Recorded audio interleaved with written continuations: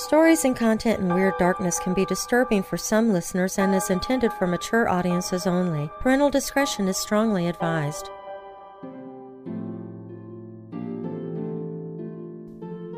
My parents own a Santa animatronic. I think it tried to kill us. Now, I know what you might be thinking. This story already sounds like a kid's overactive imagination during a season that relies on the magic of imagination. I don't mean to oversell it either. This wasn't some decades-long haunting where it terrorized us every Christmas. This was a single incident, but one that my brother and I would never forget. I'm Darren Marlar, and this is Weird Darkness.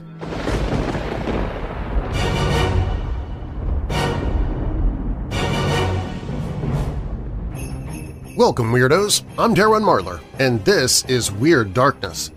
Here you'll find stories of the paranormal, supernatural, legends, lore, the strange and bizarre, crime, conspiracy, mysterious, macabre, unsolved, and unexplained. Coming up in this episode, it's a Christmas time creepypasta by James Kernick called Better Watch Out, Better Not Cry. If you're new here, welcome to the show, and if you're already a member of this weirdo family, please take a moment and invite someone else to listen with you. Recommending Weird Darkness to others helps make it possible for me to keep doing the show. And while you're listening, be sure to check out WeirdDarkness.com where you can send in your own personal paranormal stories, watch horror hosts present old scary movies 24-7, shop for Weird Darkness and Weirdo merchandise, listen to free audiobooks that I've narrated, sign up for the newsletter to win free stuff I give away every month, and more. And on the social contact page, you can find the show on Facebook and Twitter, and you can also join the Weird Darkness Weirdos Facebook group. Now, bolt your doors, lock your windows, turn off your lights, and come with me into the Weird Darkness.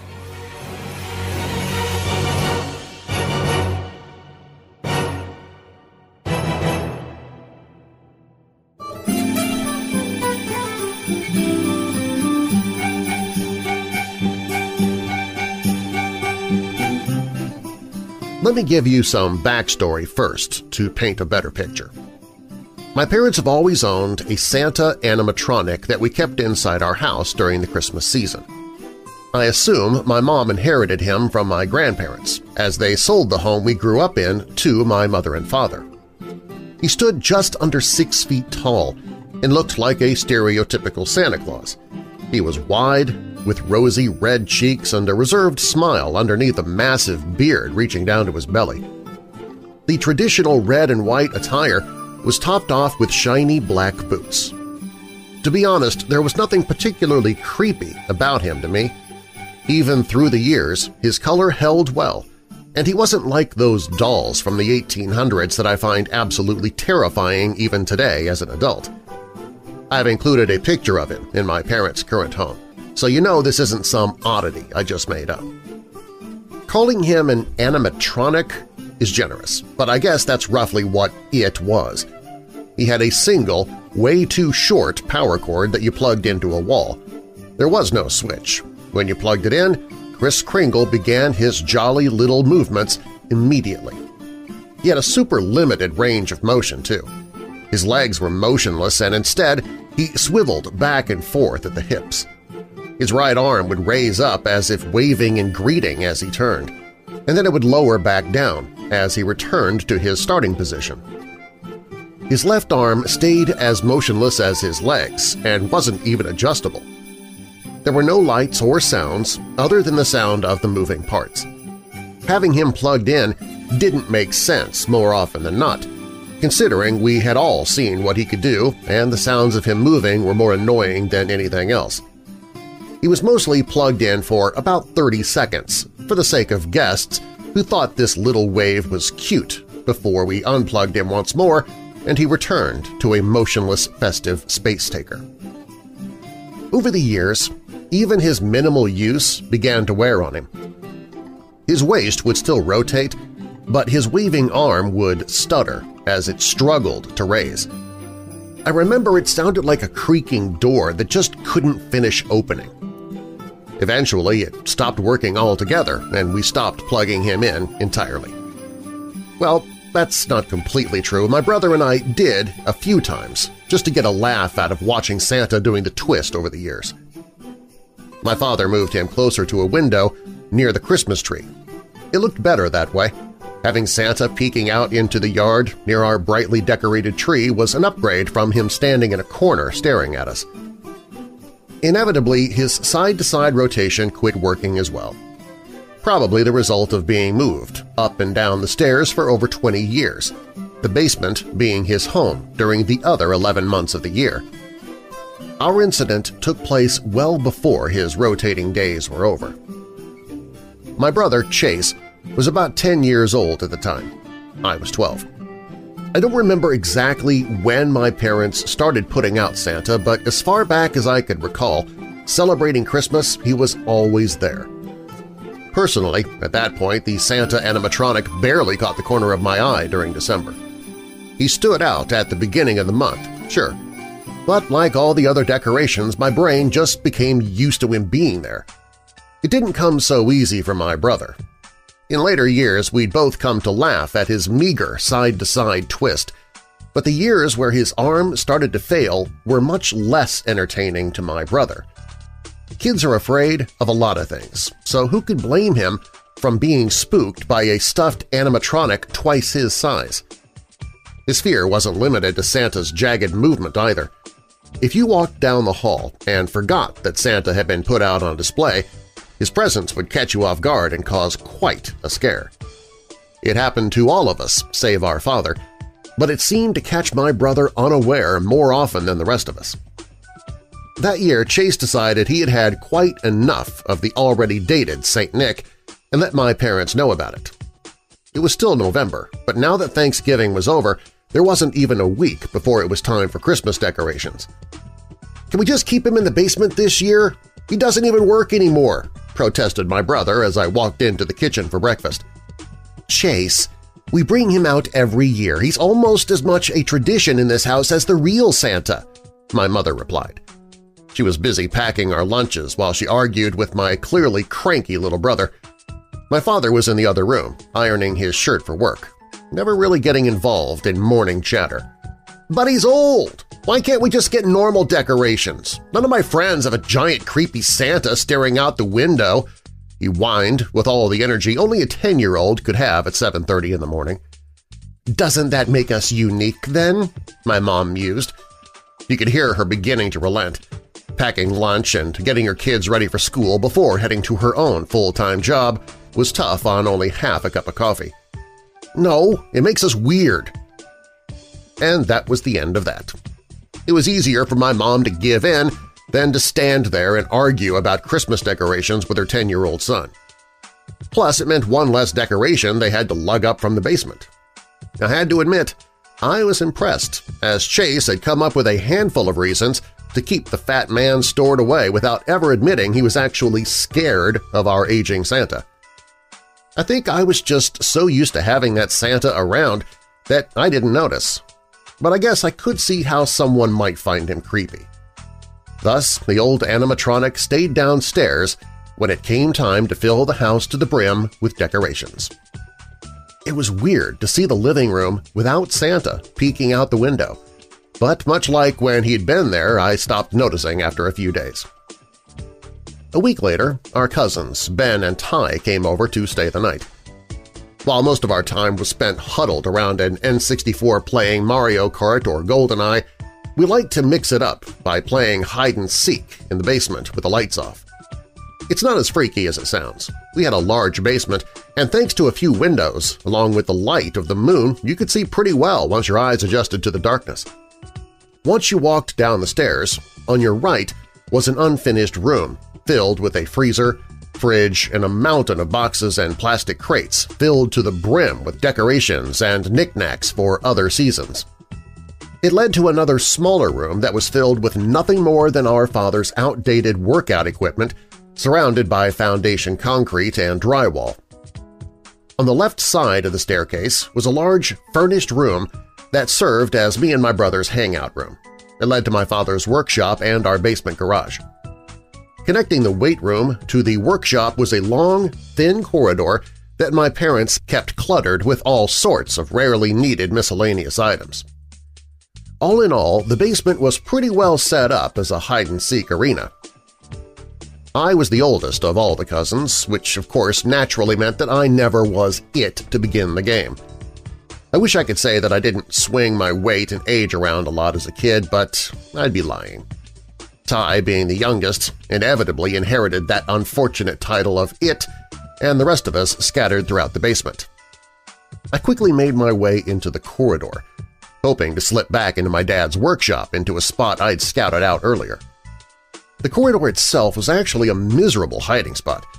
There was so much junk that whoever was it would naturally bump into anyone dumb enough to try and hide there. Still, it made for a good shortcut, and I figured it'd keep Ben or Chase from seeing where my perfect hiding spot was located. About halfway down the corridor, I came to an awful realization. Something was blocking the rest of the path. My eyes hadn't adjusted to the darkness yet, so I reached out to see if it was something I could just push past. My hands found a large surface of fake hair, and I realized exactly what was blocking my way my parents had left Santa Claus stuffed into the corridor thanks to my brother's persistent complaining. He wasn't heavy per se, but I didn't have the room to move him out of my way in the narrow hall. Before I could head back the way I came, I heard a voice call out from the top of the stairs. "'Ready or not, here I come!' yelled Ty, his feet stomping on the wooden stairs as he made his descent into the basement. At a time, I tried to stand up as straight as possible and flatten myself against the wall next to storage Claus. It wasn't a great plan, but it was the best I had at the moment. As I waited for Ty to hopefully find Ben or my brother first, my eyes finally adjusted to the darkness. Slowly looking over to Santa, I could see that he was facing me. His lifeless eyes were narrowed from the molded smile placed on his face. He'd probably just swiveled after I ran into him, but it felt as if he had turned to stare at me. I stood motionless, hoping that he would stay as still as he did when standing in our living room. I held my breath, feeling the pounding of my heart beating harder and faster. "'Got you!' screamed Ty as he grabbed my arm. I screamed too. It was not my proudest moment. It didn't help that it took a solid five minutes for Ty to stop his laughing fit, set off by my reaction. Afterwards, I sat on the couch in the main room while he hunted down Chase and Ben. When they were finally found, all three laughed themselves to tears as Ty did his best impression of my scream. Not only was it embarrassing, but the rules we played by dictated that the first person who was found was it for the next round. Being the oldest, I felt my wounded pride take the place of my fear as I counted aloud at the top of the staircase. I resolved that I would find them all so rapidly that my hide-and-seek dominance would erase the squeak of puberty's scream that I had shrieked out. Counting to 50, I bounded down the stairs and immediately headed back into Santa's corridor. It was common for people to hide precisely where the first person had been caught in the round prior, so I was betting on some double-reverse psychology. I grinned as I spotted Santa, my eyes still adjusted to the darkness. His body was turned away from me this time, meaning that one of them had previously squeezed by in hopes that I couldn't follow, turning Santa's hips in the process. As I approached him, I grabbed him in an attempt to maneuver him out of the way so I could slip by.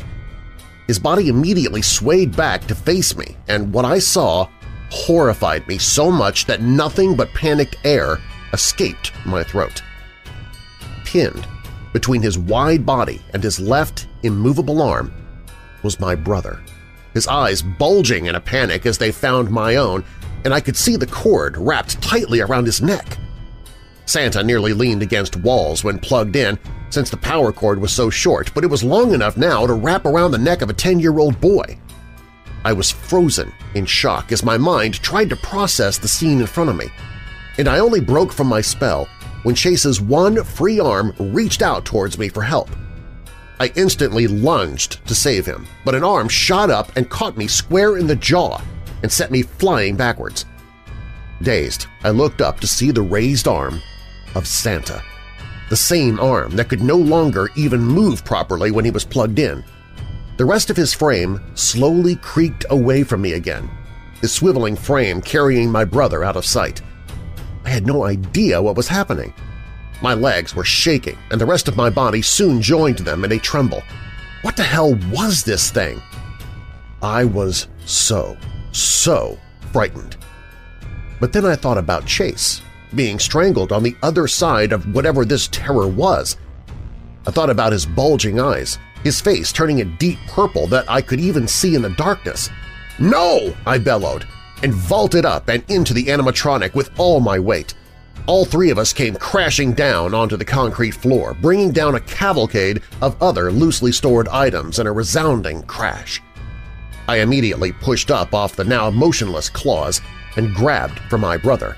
Finding his legs, I pulled with all my might, and to my relief I yanked him free of the arm that had pinned him. The power cord was no longer wrapped around his neck, but as he coughed and wailed, I could see the strangulation marks very clearly. Pulling him to his feet, we ran toward the staircase where we were met by our parents who had heard the loud crash and hurried to see what had happened. Our cousins quickly emerged from their hiding spots as our mother freaked out over my brother's injuries and our father shouted about our reckless behavior. My parents listened to neither my brother's nor my own frightened rendition of the events that had transpired.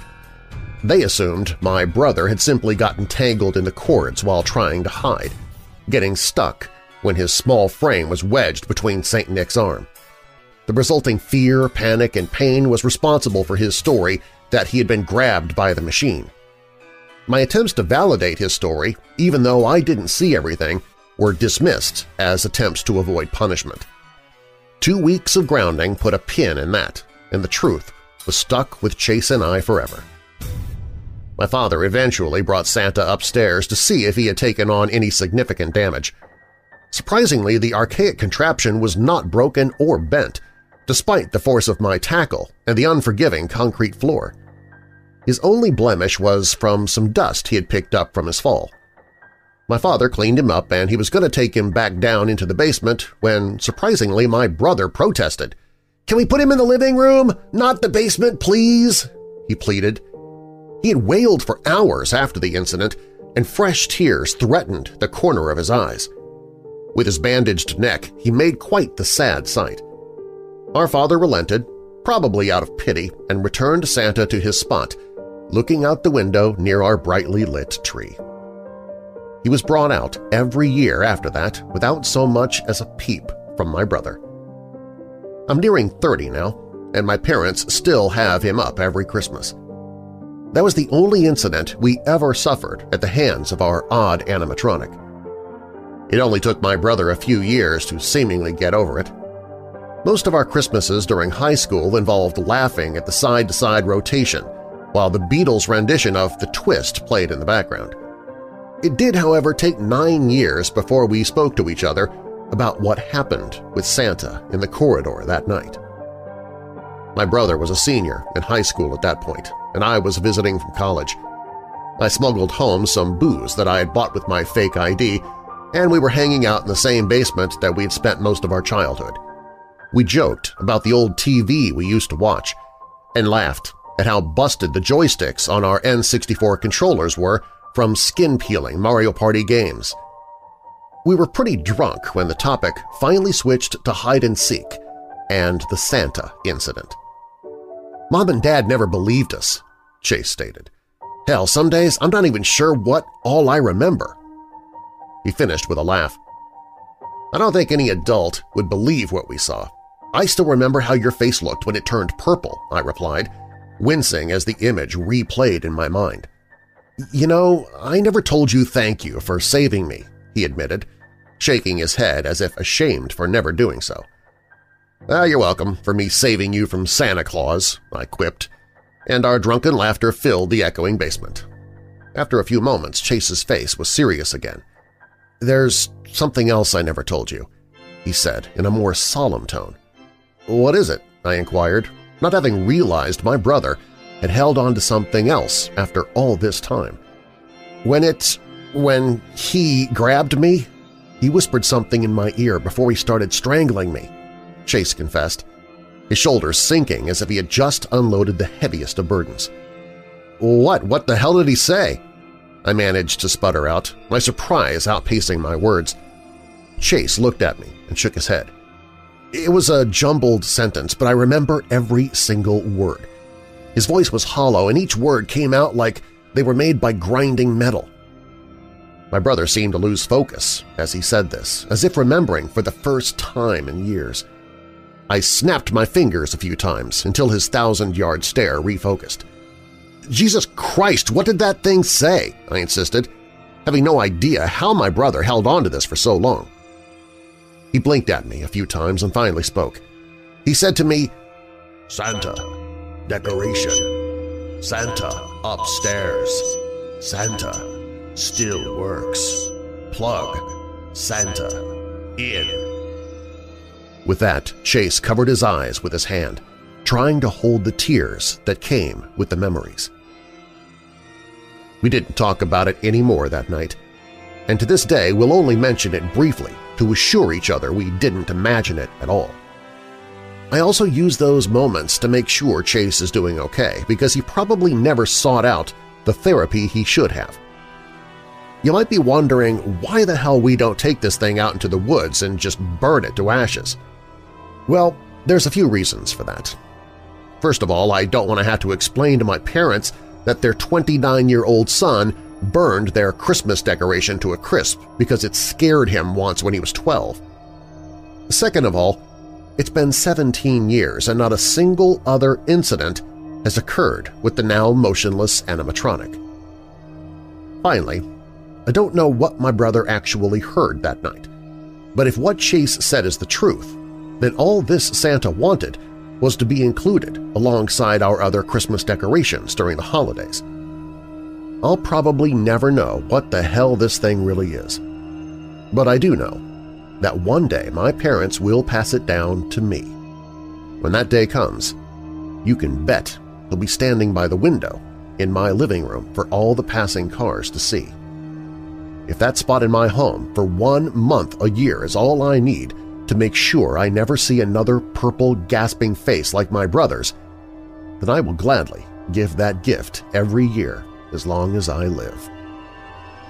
Tis the season.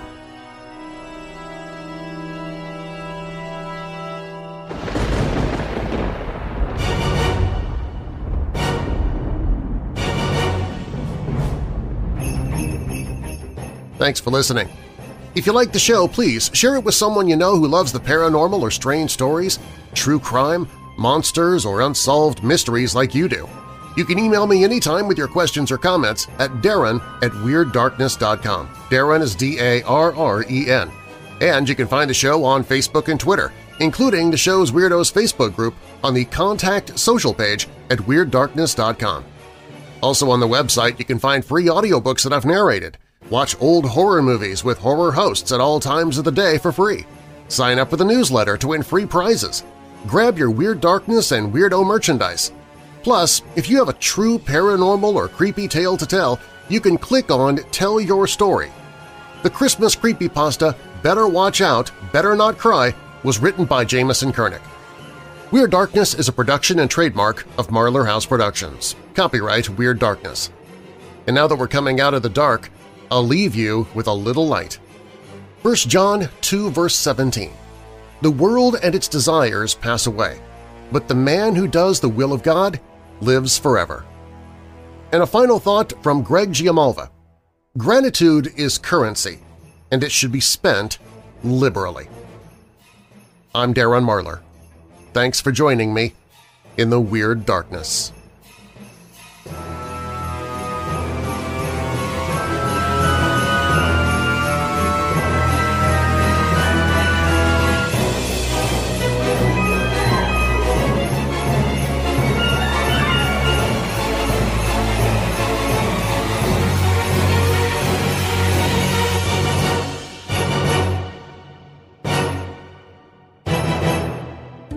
If you or someone you know struggles with depression or dark thoughts, I'd like to recommend the Hope in the Darkness page at WeirdDarkness.com. There I've gathered resources to help fight depression with the Seven Cups app, connecting you with people who've also struggled with depression and are there to lift you up, even professional listeners there to listen at all hours of the day. If you're having dark thoughts of harming yourself or worse, there's the Suicide Prevention Lifeline that you can either call or chat online with anytime, 24-7. The folks at ifred.org are doing what they can with research and education on depression to give us the tools we need to fight against it in the days ahead.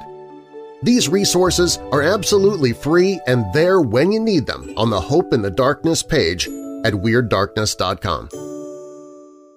Hey Weirdos! Be sure to click the like button and subscribe to this channel and click the notification bell so you don't miss future videos. I post videos seven days a week. And while you're at it, spread the darkness by sharing this video with someone you know who loves all things strange and macabre. If you want to listen to the podcast, you can find it at WeirdDarkness.com listen.